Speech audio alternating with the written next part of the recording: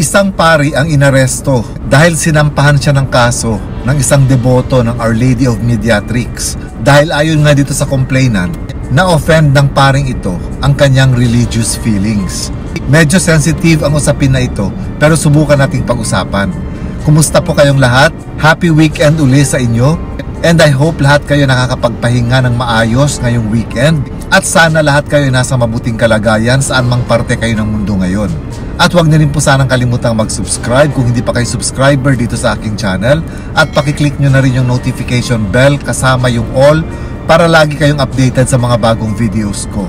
And please don't forget to follow my Facebook page, Chinoy Dubai. Inaresto at dinitain si Father Winston Cabading noong May 13 at na-detain nga siya ng dalawang gabi pero nakalaya rin matapos siyang magpiyansa ng 18,000 pesos. Inaresto si Father Cabading dahil sa reklamo ni former elections chief and former justice ng anti-graft court ng Sandigan Bayan na si Harriet Demetriou. Ayon sa reklamo ni Demetriou, sinasabi niya na sinasampahan niya ng kaso si Father Cabading dahil na-offend daw ni Father Cabading ang kanyang religious feelings. Hindi lang siya kung hindi lahat ng mga deboto ng Our Lady of Mediatrix ng Lipa City. Ayon din sa kanya, galit na galit daw kasi noon pa itong si Father Cabading sa Our Lady of Mediatrix na, na kung saan sinasabi nga, allegedly, noong 1948 ay nagkaroon ito ng milagro sa Lipa City. Ang sinasabing milagrong ito na nangyari noong 1948 sa Lipa ay yung apparition ni Mother Mary sa isang Carmelite postulant. At ayon nga sa salaysay nitong Carmelite postulant, nagpaulan ng rose petals nung araw na yun nung magpakita si Mother Mary at sinasabi rin nga ngayon na may lumalabas na langis na tinatawag nilang mahiwagang langis doon mismo sa statue ni Mother Mary na itinayo nila sa may compound ng simbahan sa Lipa. Para sa simbahang katolika, bago nila dinideclare kung totoo nga bang may nangyaring apparition sa isang lugar, masusing investigation ang ginagawa nila. And so far, ang mga prominent na mga apparitions ni Mother Mary sa buong mundo ay yung nasa Fatima at yung nasa Lourdes. Itong sinasabing apparition na nangyari sa Lipa City noong 1948, naglabas na ng decree ang Vatican noong 1951 na ang pangyayaring ito ay hindi isang supernatural. Kumbaga, sinasabi nila na ang pangyayaring ito ay hindi nanggaling sa ating Diyos kung kaya hindi ito dapat pinapaniwalaan. Ito ay ayon na rin sa ginawa nilang investigation. At hindi rin natin maiiwasan na dahil sa pangyayaring ito, nagkaroon ng mga devotees o mga deboto. Dito sa sinasabing nagpakita sa lipa na tinawag nilang Our Lady of Mediatrix. At isa sa mga naging masugid na deboto nito ay si Harriet Demetriou na ayon din mismo sa kanya ay gumaling siya sa isa niyang karamdaman magmula nang maging deboto siya ng Our Lady of Mediatrix dito sa Lipa. Ganun pa man, nanindigan pa rin ang simbahang katolika na yung nangyaring sinasabing apparition sa Lipa ay hindi isang supernatural event. Kumbaga para sa simbahang katolika, hindi ito isang milagro na galing sa Diyos. Ang sinampahan ng kaso ni Demetriou ay si Father Winston Cabading, isang uh, exorcist priest and at the same time isa ring theologian at instructor ng University of Santo Tomas. At bilang isang pari ng simbahang katolika, natural, ang ituturo niya at ipipreach niya ay naaayon sa decree o yung mga turo na sinasang-ayunan ng simbahang katolika.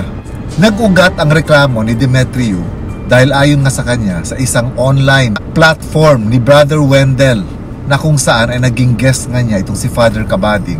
Sinasabi ni Demetrio na masyado daw na ininsulto ni Father Cabading yung mga deboto ng Our Lady of Mediatrix at tinawag pa daw niya na yung pangyayari sa lipa na apparition ay kagagawa ng demonyo.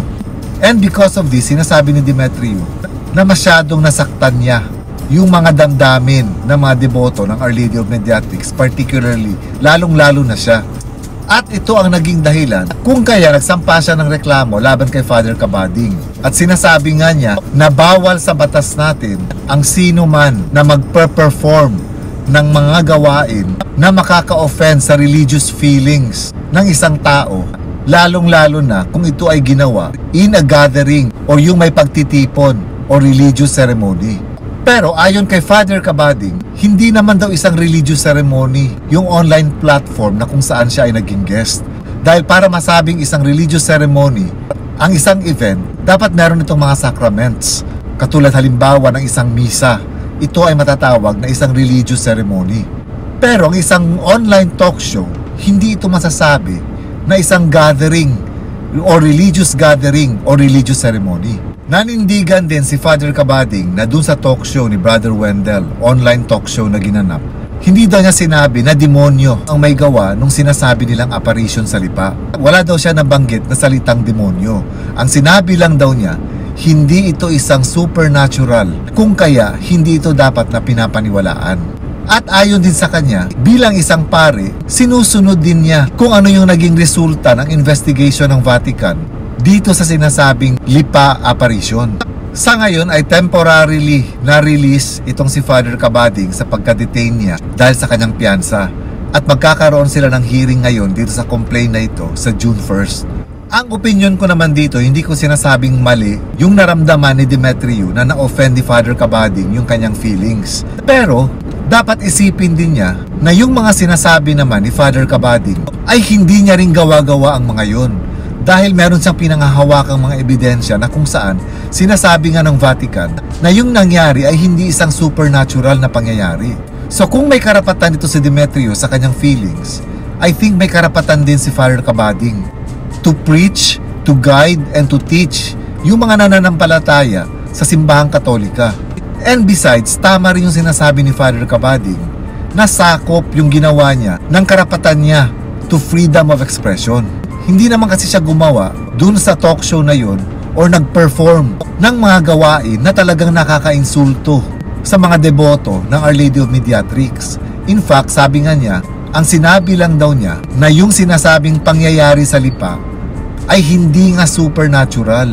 Ibig sabihin nito, hindi ito nanggaling sa ating Diyos or hindi ito gawa ng ating Diyos. Kung kaya, sa mga nananampalataya sa simbahang katolika, sinasabi niya na hindi natin ito dapat paniwalaan. Pero hindi niya sinasabi na hindi tayo dapat magbigay ng galang or mag-venerate kay Mother Mary. Ang sinasabi niya dito, yung pangyayari ang hindi supernatural. So hindi niya tinitira dito si Mother Mary actually. Ang sinasabi niya dito, bago tayo maniwala sa mga sinasabing mga apparitions, dapat may discernment tayo or pinag-iisipan din natin ito. At kung may decree ang Vatican na nagsasabi na hindi nga ito totoo, na hindi nga ito supernatural, bilang miyembro ng simbahang katolika, natural, dapat natin itong paniwalaan. Kaya para sa akin, wala akong nakikitang mali dun sa ginawa ni Father Kabading. Ang intensyon niya lang na nakikita ko doon ay i-guide yung flock o yung mga nananampalataya sa simbahang katolika kung ano ang dapat nating paniwalaan. Kasi hindi naman siya gumawa doon sa talk show na kung saan halimbawa ay binasag niya ang isang statue ni Mother Mary o pinagmumura niya si Mother Mary. Hindi naman kasi ganun. At hindi niya rin pinagmumura ang Our Lady of Mediatrix dahil yung Our Lady of Mediatrix hindi lang meron ito sa lipa. Sa buong mundo merong Our Lady of Mediatrix na nagsimula pa noong 4th or 5th century. So hindi lang sa lipa ang Our Lady of Mediatrix. So nakikita ko yung point ni Father Kabading. Kasi alam din natin na hindi lahat ng mga apparitions o yung pag o yung mga milagro ay totoo nga bang nanggagaling sa Diyos. Kasi alam din natin na yung mga demonyo, kaya nilang gawin ito. Kaya nilang magpanggap para makalinlang ng mga mananampalataya. Katulad din ito ng apparition sa Medjugorje, sa may Bosnia and Herzegovina. Actually, pupunta ako doon ngayong June doon sa Medjugorje kasi sinasabing nag, nagpakita rin doon si Mother Mary noong 1981 sa anim na teenagers. Pero hanggang ngayon, hindi pa rin ito kino-confirm ng Vatican. Dahil hanggang ngayon, ginagawan pa rin nila ito ng investigation. Pero ang kaibahan lang, yung sa Medjugorje, walang sinasabi ang Vatican na hindi nangyari yung apparition. Ang sinasabi lang nila, wala pa silang sapat na ebidensya na makapagpapatunay na may nangyaring ang apparition doon. Kung kaya hindi nila pinagbabawal yung mga deboto ng Our Lady of Peace doon sa Medjugorje para magsagawa ng mga pilgrimage.